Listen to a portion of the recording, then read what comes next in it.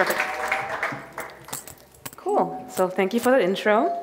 So I'd say I've been a leader throughout my entire professional career, and I've never had the job title for it. yeah, I might get it one day, though. So, fortunately for me, leadership does not mean you have to be a hierarchy, you have to be senior, or you have to have certain attributes. It's about what you do and how you bring people forwards. So, as you said, I've worked in a lot of different industries. I started working off at Google for a couple of years, had a brief stint at UBS Bank, and now I'm happily employed at HubSpot. What does that mean? I've worked in a lot of different industries. There have been different dynamics and everything. However, one thing has been the same. That's been me working on uplifting and empowering women. I did this.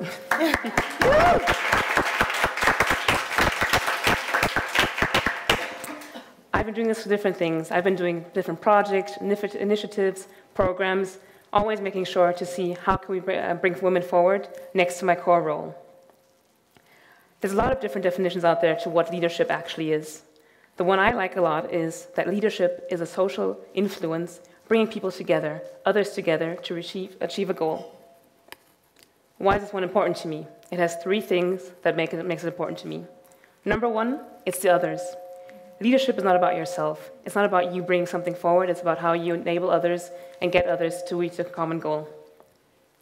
This could have been done, for example, at Google. I did this by um, working on a project,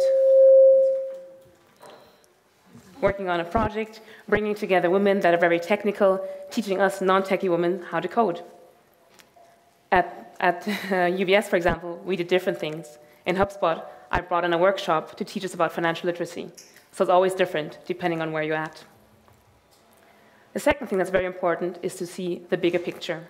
As a leader, you want to see what's the overall goal you want to reach and break this down into bite-sized snippets for people to work on. Again, this can be very different. At the UBS Bank, for example, I worked on bringing in programs to get advocates in, male advocates for the female employees. In a tech background, it's more about getting and strengthening numbers of tech employees to get more female tech people in there. So it's always different depending on the environment. I want to make sure that it's always adequate for where you are at. The third thing that's really important is feedback. Then why is this important? Leadership is not about ourselves. As I said, it's about others too. We want to make sure that the goal we're reaching is a goal is a common goal. What does that mean? I always implement a feedback mechanism, no matter what I'm doing.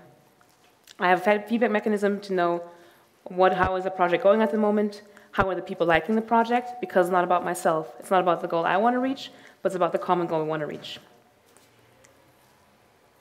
Okay, so this means I've been leading projects, I've been leading different programs, but does that mean I don't get to get acknowledged because I don't have official title? Of course not. It's very important that even if you're an a leader without an official title, that you get the reward and acknowledgement that you deserve. Oftentimes, the projects I worked on came from different passion points for me, passion that resulted into different exercises for other people. Sorry, losing my microphone here. So what I did is make sure to amplify my voice. I amplified my voice by making sure others knew what I was doing and also using, for example, the leaders with official titles, be it the senior leaders or the CEOs, to amplify my voice and tell the story of what I've been doing. I want to make sure that everybody hears what I'm doing and can also be part of it too. So what's really important to me is that if you have others you're working with, if you know you have an overall goal you want to achieve, and you have feedback mechanisms in there to make sure that you're continuously tracking the progress, then you can all go out to lead, no matter if you have the title or not. Thank you.